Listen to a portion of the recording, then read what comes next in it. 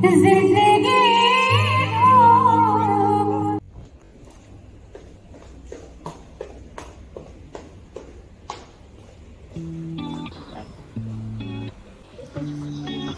guys good morning. So guys time हो रहा है सेवन ओ क्लॉक आ गई हूँ वॉक के लिए। आतिफ और अनाया है अभी घर पर, क्योंकि अनाया सो रही है और आतिफ भी ऑफ़िस से आने के बाद थोड़ा सा आराम करते हैं। एंड जब अनाया उठ जाएगी तो वो अनाया के साथ बाहर, वो भी वॉक के लिए आएँगे और उनको मैच खेलना है तो वो मैच खेलेंगे। तो हम लोग वॉक करते हैं तब तक। काफ़ी टाइम हो गया है। टाइमिंग समझ में आ गई है अनाया, किस टाइम उठती है, किस टाइम सोती है। तो मैंने बहुत अच्छे से कैलकुलेट करके ये पता कर लिया है कि अनाया आज जब आते ऑफ़िस से आते हैं, तब वो आराम से दो तीन घंटे उनके साथ सो लेती है या फिर एक घंटा तो सो ही लेती है। तो बस उसी टाइम पर मुझे वॉक करने निकलना है। जैसे ही आते ऑफ़िस से आएँगे, वो आराम करेंगे एंड मैं जाऊँगी वॉक पर। फिर उसके बाद जब अनाया उठ जाएगी तो वो दोनों बाहर आ जाएँगे और हम लोग साथ में वॉक करेंगे। गाइज़ मेरे पास चॉइस थी दो। या तो जिम जाऊँ या फिर वॉक करूँ। तो मैंने एक दिन जिम जाकर देखा, काफ़ी बोरिंग था, क्योंकि वहाँ पर मतलब मशीनों के साथ ही खेलना होता है और कुछ नहीं होता है। एंड वॉक में आपको नेचुरल चीज़ें बहुत ज़्यादा मिलती हैं। मतलब आपको ये ग्रीनरी मिलेगी, जो आपकी आँखों के लिए बहुत ज़्यादा बेनिफिशियल होती है। एंड यहाँ आपको मिलेगी मॉर्निंग साउंड जो कि जिम में दूर दूर तक कहीं नहीं मिल सकती, वहाँ पर आपको सॉन्ग मिल सकते हैं। तो मुझे यहाँ मॉर्निंग साउंड लेनी थी। एंड गाइज़ वो सभी की फेवरेट होती है, जहाँ तक मुझे पता है। गाइज़ मैंने एक चीज़ नोटिस की, जब आप डेली रूटीन में अपनी मॉर्निंग वॉक को ऐड करते हो तो आपका मूड पूरे दिन बहुत अच्छा रहता है। एंड बहुत सारे थाट्स आपके माइंड में तभी आते हैं, आपको फुल डे क्या करना है, क्या नहीं करना है। एंड दस दिन के बाद मुझे समझ में आ गया कि मॉर्निंग वॉक ही ज़्यादा बेस्ट है इन कंपैरिजन टू जिम जाना। ऐसा नहीं है कि मैं जिम से डिनाई कर रही हूँ, नहीं, मैं जिम भी जाऊँगी, लेकिन इतना नहीं। मतलब मॉर्निंग वॉक में अगर वीक में फाइव टू सिक्स डेज़ जा रही हूँ तो वन या टू डेज़ में जिम जाऊँगी, क्योंकि मुझे मसल्स स्ट्रॉन्ग करने हैं, है ना? और मॉर्निंग वॉक से आपकी हेल्थ अच्छी होती है। एंड यहाँ पर हमारे आतिफ जो हैं, वो क्रिकेट खेल रहे थे क्योंकि अनाया आ गई थी इस बीच और मैं उसको लेकर वॉक करने लगी। एंड यहाँ आतिफ अपने फ्रेंड्स के साथ क्रिकेट खेल रहे हैं। एंड यहाँ मैं जा रही थी लेकिन आतिफ ने कहा, नहीं, मेरी अब इसके बाद तो मुझे बैटिंग करनी है और मैं अनाया को दिखाना चाहता हूँ कि उसके डैडी कितना अच्छा क्रिकेट खेलते हैं। तो मैं और अनाया रुक गए, उनकी बैटिंग देखने के लिए देखें भाई कैसे खेलते हैं। एंड गाइज़ बहुत ज़रूरी है ये एक्स्ट्रा एक्टिविटी अपनी लाइफ में, अपने स्केड्यूल में ऐड करना। इससे आप फिट रहेंगे, आप हेल्दी रहेंगे। एंड काफ़ी टाइम बाद हम लोग को भी समझ में आया। पता तो सबको होता है, लेकिन बस यही है ना कि बॉडी बहुत ज़्यादा टाइम लेती है अपने आप को सेट होने में। तो वही हमारे साथ हुआ था, काफ़ी टाइम लगा हमें। लेकिन अब समझ में आ गया है। एंड फाइनली आतिफ की बैटिंग इन्जॉय करते हैं। करना ठीक है?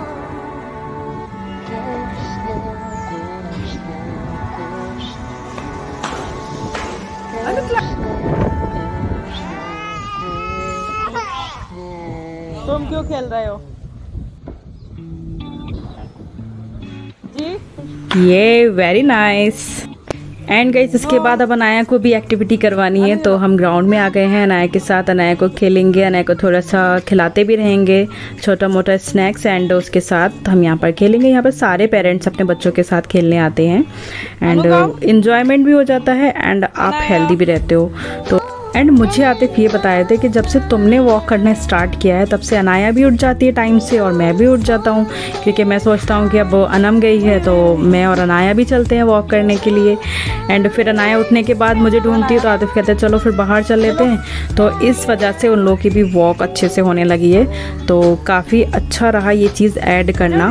बीच में एक आध बार मिस हुआ था मेरा बट उसको दोबारा से रेगुलर करना बहुत ज़रूरी था। तो पहले आपको ना थ्री डेज़ में बहुत ज़्यादा पेन होने वाला है, क्योंकि आपकी मसल्स जो हैं वो खुलती हैं, आप कुछ एक्टिविटी कर रहे हो जो आप काफ़ी टाइम से आपने रोक दी थी।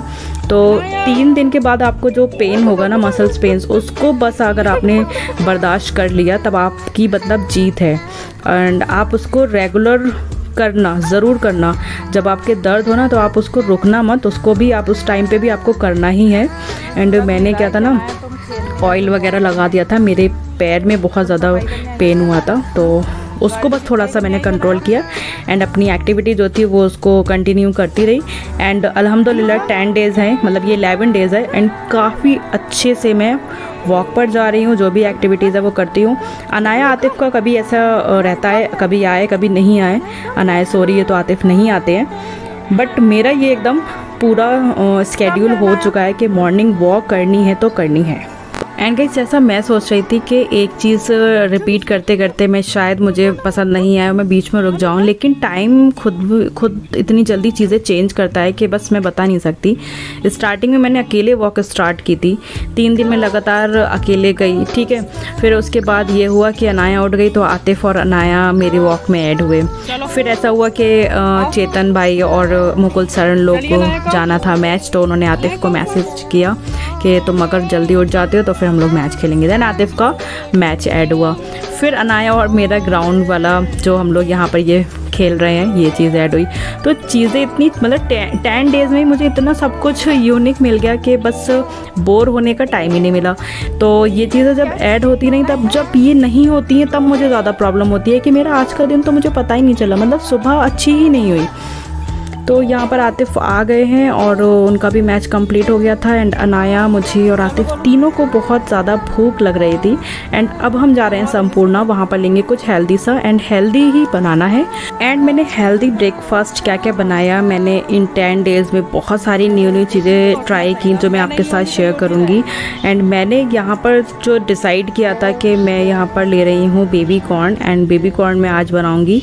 इसकी रेसिपी भी आपके साथ शेयर करती हूँ। कुछ भी नहीं करना है इसको वॉश करके उबाल लेना है। 20 से 25 मिनट अच्छे से सॉफ्ट हो जाएँ कैची से कट मतलब चाकू से कट करके देख लेना। एंड उसके बाद ये वेजिटेबल्स जो आपको ऐड करनी है, उसको अच्छे से चॉप कर लीजिए। एंड जब ये बेबी कॉर्न अच्छे से सॉफ्ट हो जाएँगे तो उसको राउंड शेप शेप में अच्छे से कट कर लेना। एंड जैसे आप छोले बनाते हो ना सेम वैसे ही आपको बनाना है। एंड गाइज़ यहाँ बेबी कॉर्न अच्छे से बॉयल हो गए थे। उसको मैंने इस टाइप में कट कर लिया था राउंड शेप में। एंड ज़्यादा ना पतला करना, ना मोटा कट करना है। नॉर्मल शेप में आपको मीडियम शेप में कट कर लेना। उसके अंदर अपनी सारी वेजिटेबल्स ऐड कर दीजिए वन बाय वन यहाँ मैंने चॉप करी हुई अनियन टोमेटो एंड यहाँ पर कोकुम्बर सब ऐड कर दिया क्योंकि कोकुम्बर मुझे पर्सनली बहुत ज़्यादा पसंद है एंड वाटर कंटेंट इतना होता है इसके अंदर कि आपको ये ज़रूर लेना चाहिए। एक कोकुम्बर तो आप वन डे में आप खाइए ज़रूर। एंड ग्रीन चिली ऐड की है एंड इसके अंदर कुछ मसाले जाएँगे एंड यहाँ पर मैं लेमन ले लेती हूँ। लेमन हाफ़ लेमन पूरा इसमें अच्छे से निचोड़ देंगे एंड इसके बाद मसाले ऐड करेंगे। मसाले में सबसे पहले नमक जाएगा फिर रेड चिली पाउडर जाएगा एंड उसके बाद चाट मसाला ऐड कीजिएगा स्वाद अनुसार एंड uh, आप अच्छे से इसको इन्जॉय कीजिए। बहुत हेल्दी ब्रेकफास्ट है ये बहुत टेस्टी बनकर आता है। एक बार ज़रूर ट्राई कीजिएगा अपने ये मॉर्निंग रूटीन में वॉक के बाद ज़रूर खाइए। आपको हेल्दी रखने में बहुत ज़्यादा बेनिफिशियल है ये। एंड यहाँ पर एक और पॉइंट आता है, जब आप अलग अलग तरह से चीज़ें खाते हैं, ठीक है टेस्टी खाते हैं तो वो एक तो हेल्दी भी होती हैं, दूसरा आपको बोर नहीं करती हैं। अगर आप वॉक कर रहे हो, आप वर्कआउट कर रहे हो एंड अगर आप अच्छा नहीं खा रहे हो तो आपका दिन जो आपका दिल है ना, वो इस चीज़ से बहुत जल्दी हट जाएगा कि सब कुछ कितना ज़्यादा मतलब बोरिंग सा हो रहा है। यहाँ पर मैंने क्या था ना, पनीर भी ऐड कर दिया था इसमें। एंड यहाँ मैंने दोपहर में खाई थी, ये बची हुई जो सलाद थी, वो पूरी ये ली थी एंड दाल चावल खाए थे सिंपली एंड रात में हम लोगों ने इन्जॉय किया फेस्ट तो हम चलते हैं फेस्ट में। यहाँ पर आई थी पूर्वा गुरु एंड अगर आप उनके बारे में नहीं जानते हैं तो सर्च करके देखिए, आपको समझ में आ जाएगा कौन है वो। एंड बहुत ही अच्छी उनकी वॉइस थी। आप उनकी वॉइस क्वालिटी खुद सुनिए, तब आपको समझ में आएगा।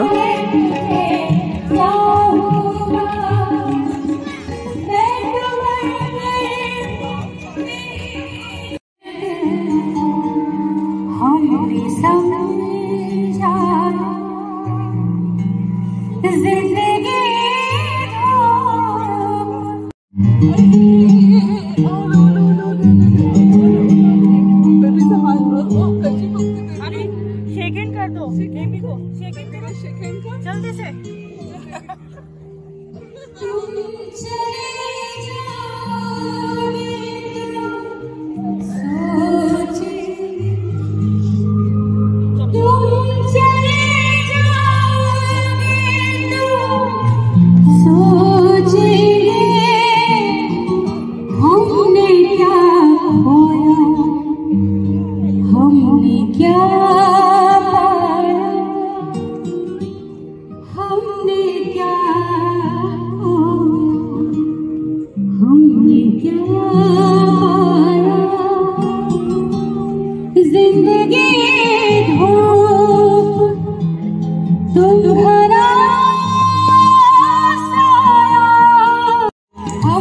let me know.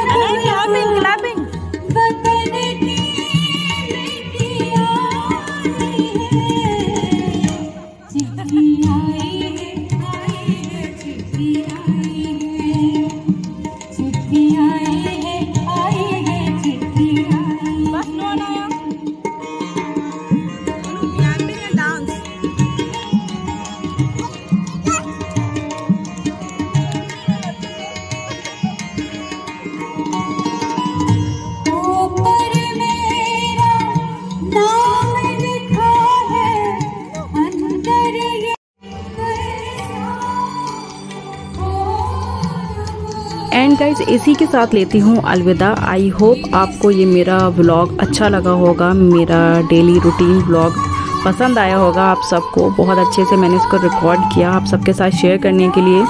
So guys video पसंद आने पर वीडियो को लाइक कीजिए, बहुत सारा शेयर कीजिए अपनी फ्रेंड्स एंड फैमिली में। एंड आप लोगों के प्यार के लिए मैं हमेशा बहुत ज़्यादा शुक्रगुजार रहती हूँ। एंड गाइज़ आपको कैसा लगा ये अपूर्वा गुरु मैम का ये सॉन्ग मुझे ज़रूर नीचे कमेंट सेक्शन में बताइएगा। एंड आप इस इनको फॉलो भी कर सकते हैं, इनको सब्सक्राइब भी कर सकते हैं। इनका यूट्यूब चैनल भी है। एंड मिलते हैं नेक्स्ट वीडियो में। तब तक के लिए bye take care and last में जो मेरे स्टेप्स थे, वो पूरे दिन के मैंने टेन थाउज़ेंड रखे थे कि मुझे पूरे दिन की एक्टिविटीज़ जो है वो टेन थाउज़ेंड स्टेप कंप्लीट करने हैं। तो मेरे फाइनली जो स्टेप्स कंप्लीट हुए थे, वो बारह हज़ार तीन सौ कुछ हुए थे जो मैंने वीडियो में रिकॉर्ड किया था। लास्ट में जब यहाँ से मैं वॉक करते हुए जा रही थी ना तो ऐसे ही मेरी नज़र घड़ी पर पड़ी। मैंने देखा कि यार वॉच में तो काफ़ी अच्छा स्टेप्स मैंने काउंट कर लिए एंड काफ़ी कवर किया मैंने एंड ऐसे ही एक्टिविटी बढ़ते बढ़ते अट्ठारह हज़ार भी पहुँच गए थे। कभी मैंने अट्ठारह हज़ार भी वॉक किया है। मैं सारे जो है वो रिकॉर्ड कर रही हूँ। आप सबके साथ एक वीडियो में ज़रूर शेयर करूँगी। एंड ये मेरा 11 डेज़ था जो मेरा वॉकिंग वाला स्टार्ट हुआ है। एंड आप लोग भी हेल्दी रहिए अपनी डेली रूटीन में। ये जो एक्टिविटी है उसको ऐड कीजिए। ज़रूरी नहीं है वॉक ही हो, आप चाहें तो कुछ भी कर सकते हैं बैडमिंटन खेल सकते हैं, कुछ भी। ये देखिए मेरे स्टेप्स तो मिलते हैं नेक्स्ट वीडियो में। बाय बाय टेक केयर अल्लाह हाफिज़।